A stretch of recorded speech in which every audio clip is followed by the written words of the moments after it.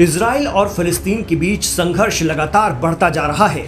फिलिस्तीन के चरमपंथी संगठन हमास के हमले के बाद इसराइल ने युद्ध का ऐलान कर दिया है। इसराइल की ओर से गाजा पट्टी में हमास के ठिकानों पर बमबारी कर उन्हें ध्वस्त किया जा रहा है। इस संघर्ष में अभी तक 1100 से ज़्यादा लोगों की जान जा चुकी है और ये जंग कहाँ जाकर रुकेगी, फ़िलहाल ये कहना मुश्किल है। इसराइल और हमास के बीच जारी संघर्ष को लेकर दुनिया बटी हुई नज़र आ रही है। कोई देश इसराइल का समर्थन कर रहा है तो कोई फिलिस्तीन के साथ खड़ा हो गया है। तो वहीं भारत के प्रधानमंत्री नरेंद्र मोदी ने इसराइल के साथ एकजुटता दिखाने की बात कही है।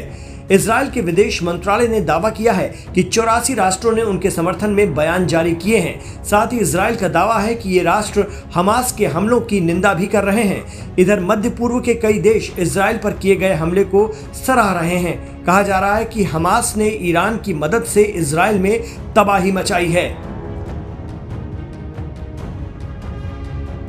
इसराइल का कौन कौन दे रहे हैं समर्थन? अमेरिका इस संघर्ष के समय में इसराइल के साथ खड़ा नज़र आ रहा है। राष्ट्रपति जो बाइडेन ने कई सैन्य हथियार इसराइल के लिए रवाना किए हैं। ब्रिटेन के प्रधानमंत्री ऋषि सुनक भी साथ देने की बात कर चुके हैं और शांति की अपील की है। फ्रांस के राष्ट्रपति एमेनुअल मैक्रो ने हमलों की निंदा की है और समर्थन का वादा किया है। ऑस्ट्रेलिया ने इसराइल के साथ खड़े होने की बात कही है। साथ ही इस संघर्ष में आम नागरिकों को नुकसान नहीं पहुँचाने की अपील की है। प्रधानमंत्री एंथनी अल्बानीज ने हमास के हमले की निंदा की है। नॉर्वे ने भी फिलिस्तीनी समूह की तरफ़ से किए गए हमले की निंदा की है।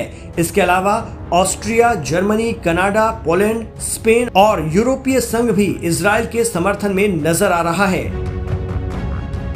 हमास के समर्थन में ये देश खबर है कि इसराइल के खिलाफ हो रहे हमलों में ईरान समर्थित हिजबुल्ला भी शामिल है। ईरान के राष्ट्रपति इब्राहिम रईसी भी फलस्तीनी समूह के हमले की तारीफ़ कर रहे हैं। दक्षिण अफ्रीका भी फलस्तीन के साथ खड़ा नज़र आ रहा है।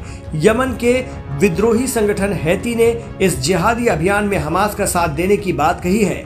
सऊदी अरब ने इस युद्ध को तुरंत रोकने की अपील की है। कहा जाता है कि सऊदी अरब और इसराइल के बीच संबंध सामान्य होने में फिलिस्तीन तनाव बड़ा मुद्दा बना हुआ है। कतर ने इस हिंसा का जिम्मेदार इसराइल को ही बताया है। भारत का क्या मत? भारतीय विदेश मंत्रालय की तरफ़ से आधिकारिक तौर पर अब तक बयान जारी नहीं हुआ है, जबकि प्रधानमंत्री मोदी इस हमले पर हैरानी ज़ाहिर कर रहे हैं। उन्होंने इसराइल में हुई इस तबाही को आतंकवादी हमला बताया है। उन्होंने इसराइल के साथ एकजुटता दिखाने का फैसला किया है।